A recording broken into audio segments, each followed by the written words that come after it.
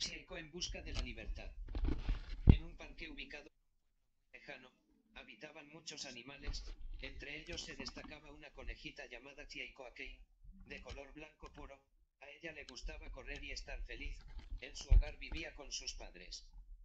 Pero un día todo cambió, llegaron constructores con excavadoras y camionetas, y empezaron a destruir todo, talando árboles, excavando tierra, debido a la petición de un famoso de construir una casa, y peor aún enjaularon los animales que habitaban en ese terreno.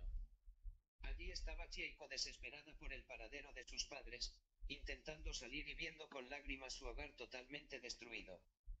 Los animales pensaron que iban a ir a un lugar mejor, pero no, fueron vendidos a la empresa llamada Correal París, para ser animales de prueba, una empresa de productos de belleza como champú, jabón, maquillaje, etc.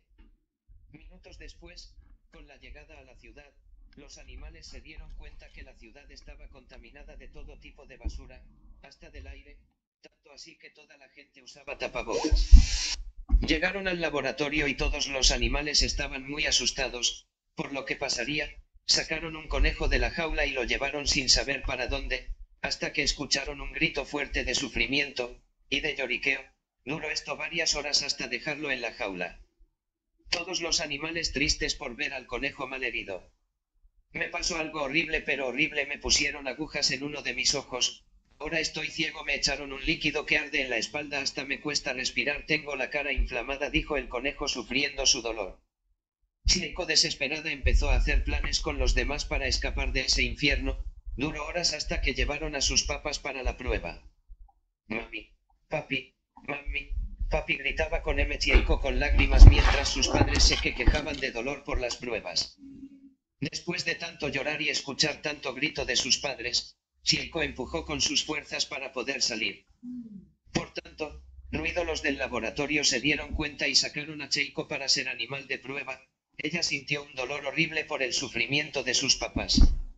Hija, no hay que temerle, dijo su papá dolerá, pero hay que hacerlo por los humanos para que tengan un buen producto.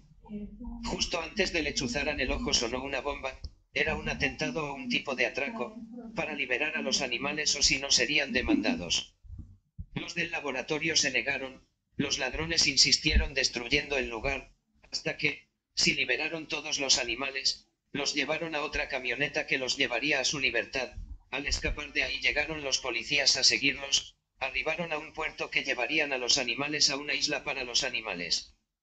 Justo ahí llegaron los policías a detenerlos hasta que se dieron cuenta es de la agencia del maltrato de animales, los dejaron ir a la isla que antes fueron al veterinario para sanar a los heridos que están los papas de Chieko. Llegaron a la isla, Chieko y los demás salieron corriendo hacia el páramo donde vivieron felices para siempre. Moraleja. El mundo natural no debería sufrir ni morir en el nombre del mundo artificial.